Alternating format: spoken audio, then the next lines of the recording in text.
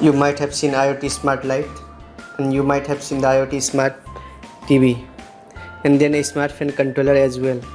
So even a complete smart home too with the IoT devices. So basically all these devices are factory coded and it's connected to the Wi-Fi through a user sitting using a login page. It means that there is no need to hard code every time. But in our case we hard code the device every time with Wi-Fi settings and password. This process is tedious and you can't launch your device in market with these settings.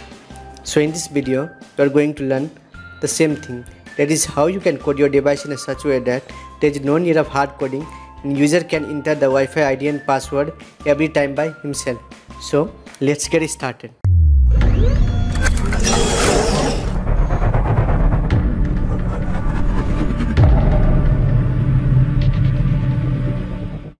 In this video, you'll learn how to configure Wi-Fi settings in ESP8266 board manually without hard coding again and again.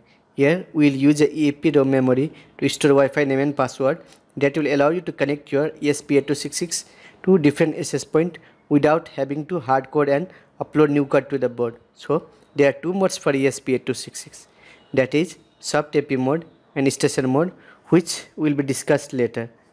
So by using this EEPROM feature you no longer have to hardcode your network credential that is SSID and password. Your ESP will automatically join a network or set up a access point that you can use to configure the network credential. Here is how does process work. So first when your ESP8266 boot up it set up in station mode and it tries to connect a previously saved network for example if you have entered some SSID and password previously it will try to connect to that and then if that process fail like if it is not able to connect the network then it sets the ESP to the access point mode. Now using a Wi-Fi enabled device like your mobile phone or your computer uh, you can connect to that particular access point. Means you can think the ESP is a hotspot and you can connect that hotspot to your mobile phone like and after establishing a connection with that access point you can go to the default IP address that is 192.168.4.1 to open a web page. Now this web page will allow you to configure your SSID and password. This will be explained later. Now once the SSID and password is set, the ESP reboots and try to connect. If it establishes a connection, the process is completed. Otherwise, it will be set up as an access point again. So basically all the IoT products that are available in market acts like this only. Initially they all act as a hotspot. Then you need to connect your phone to that hotspot. Once the hotspot is connected then go to the particular IP address and then enter the Wi-Fi credential and then your device will get automatically connected on the next boot. So let's do a practical demonstration using a code so this is the sample code that can be used to learn this whole process. So i will be explain this entire code at the end of this video. But before that let us let's configure it to understand the working. So there is a line called wi-fi that soft ap and here you need to give a particular name to your esp8266 hotspot. For example i am giving the name how to electronics. And then there is another line where you need to enter the password or give a password. I am leaving it open because i want my network to be open. So once this coding is completed so you can simply upload to the node mcu board. So this is our node mcu esp8266 2le board. So connect this port to your computer. That is connect it using micro usb port. So once the connection is completed there will be no blinking up LED because the code isn't uploaded currently.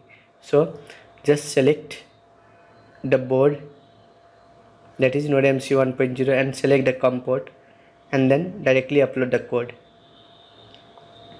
So you can see the code is uploaded. So once the code will be uploaded you can open your serial monitor.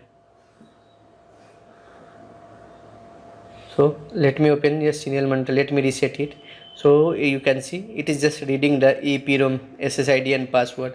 So it didn't find any password. So it is waiting for the Wi-Fi to connect. So it has created a Wi-Fi connection. So you can see my phone hotspot is showing it. How to electronics that we set earlier. So this is the hotspot that is created by ESP8266 so now go to the Google Chrome.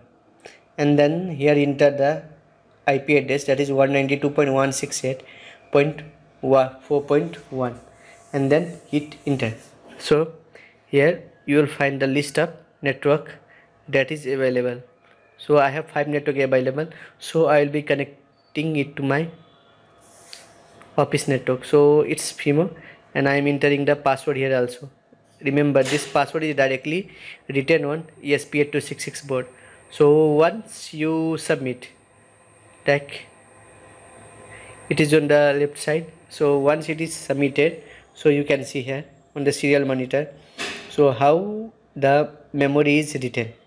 So first it has saved the SSID and then a password. So it has resetted the board and entered into the mode boot mode. So now the ESP8266 has connected to the same network and the blinking has started which proves that our ESP8266 is fully working. Let's go to the coding section. So these are the header file that is automatically available if you have installed the ESP8266 board. So EEPROM is used to store the variable. So we have in defined some of the integers and also we have set two different characters for storing the Wi-Fi ID and password. We have set two strings and under the function declaration we have defined three functions that is test Wi-Fi, launch Wi-Fi and setup AP. So the server is used to connect under the void setup function that is it will initially start to connect. So if it reads the EEPROM memory and after the reading if you find some password then it will get successfully connected so in case it doesn't find anything stored in the EEPROM memory it will launch the ESP8266 in soft AP mode. That is it will turn the hotspot and make the ESP8266 hotspot. And then it will wait for some of the network to connect like your it will wait for your phone to connect or it will wait for your PC to connect.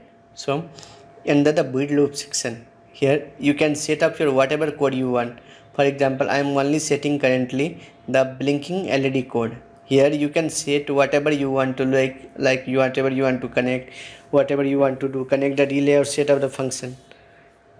Under this function it will wait for the Wi-Fi to connect and if it is timeout it will again go on the opening AP mode. Like now the network scan is done and if there is no network found then it will just again set it to the soft AP as you can see here. And then after the web server is created it will display a web page based on the HTML coding that is done here. Right? Now this HTML coding you can enter the SSID and password and the node MCU reboots and connect to the Wi-Fi. Thank you for watching